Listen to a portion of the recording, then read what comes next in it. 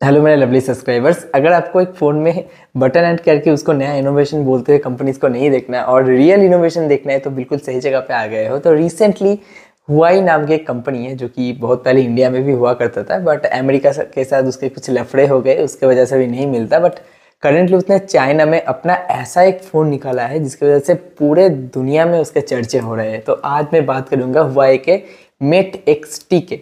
जो कि एक फोल्डिंग डिवाइस है और कोई ऐसा वैसा फोल्डिंग नहीं है, ये एक फोल्डिंग टैबलेट डिवाइस है। जी हाँ और एक दो बार फोल्ड हो सकता है, सोच सकते हो आप मतलब ये ट्राई फोल्ड बोलते हैं अपने फ़ोन को, बट प्रैक्टिकली ये दो बार ही फोल्ड होता है।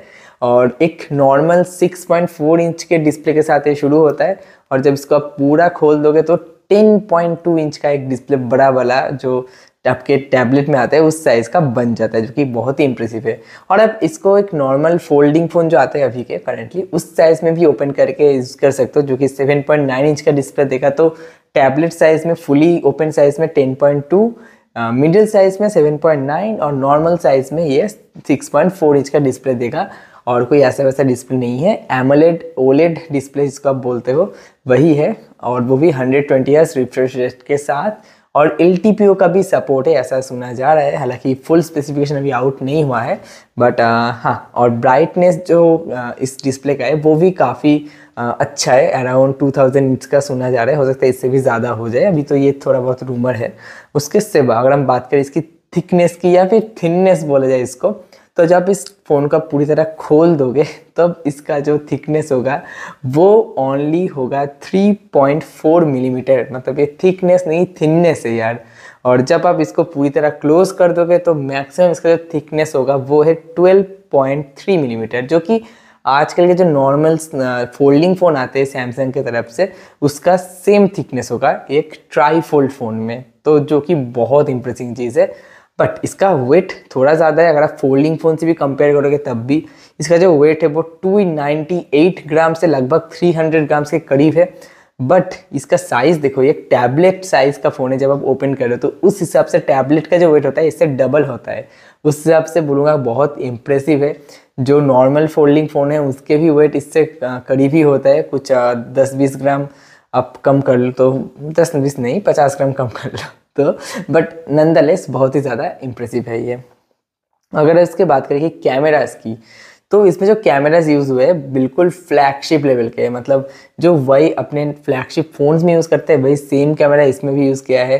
बट अदर्स फ्लैगशिप कंपनी जो अपने फोल्डिंग फ़ोन निकालते हैं, ऐसा नहीं करते। गूगल है सैमसंग है, कोई भी नहीं करता। एक अपना पुराना वाला जो रहता है, उनका कैमरा वही फ्लैगशिप फ़ोन में डाल के बोलते क्या स्पेस नहीं था। तो हुआई ने ऐसा कुछ नहीं किया। बिल्कुल फ्लैगशिप लेवल कैमरा दिया है। जो मेन सेंसर है, वो वेरिएबल एपेचर का सपोर्ट है उसमें। और एफ़ वन पॉइंट फोर का लेंस है, और उसी के साथ जो जूम लेंस है, वो 5x तक जूम कर सकता है। 5.5x ऑप्टिकल जूम है, उसमें पेरिस्कोप कैमरा लेंस है। बाकी अल्ट्रा वाइड कैमरा भी लगा हुआ है उसको। उसके बारे में भी डिटेल है नहीं बट वो भी डेफिनेटली अच्छे क्वालिटी का ही होगा, ऐसा रूमर आ रहा है।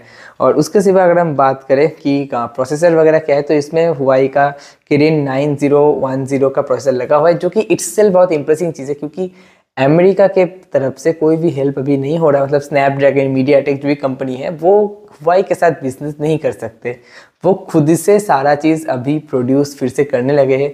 उनका पहले भी किरिन का सीपीयू था बट काफ़ी सारे जो मटेरियल है, वो बाहर से लाना पड़ता था और इस चीज़ पे बैन लगाया गया था कि आप बाहर से नहीं ला सकते। जो बनाना है, अपने कंट्री में खुद से बनाओ। फाइनली तीन चार साल के स्ट्रगल के बाद किरिन ने मतलब हुआ ने ऐसा करके दिखा अपना खुद से फिर से प्रोसेसर निकाल ले, पूरी जो रॉ मटेरियल्स हो गया, और जो भी टेक्नोलॉजी लगता है, वो खुद से डेवलप किया होगा अपने कंट्री के अंदर, क्योंकि बाहर से इसको कोई भी हेल्प इस रिगार्डिंग नहीं मिलेगा ऐसे अमेरिका ने बोला था।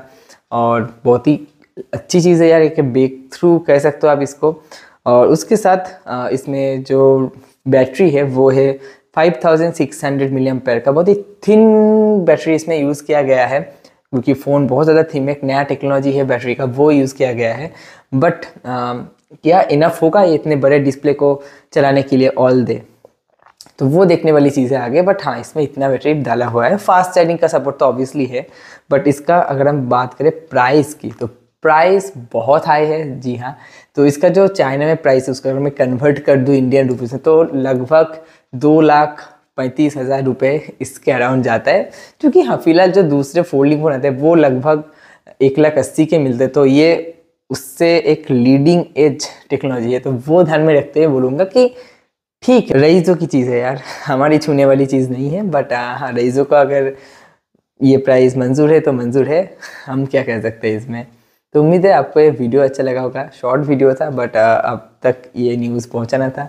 तो अगर ये वीडियो पसंद आया तो आपको पता है क्या करना है लाइक करना है शेयर करना है चैनल को सब्सक्राइब करना है।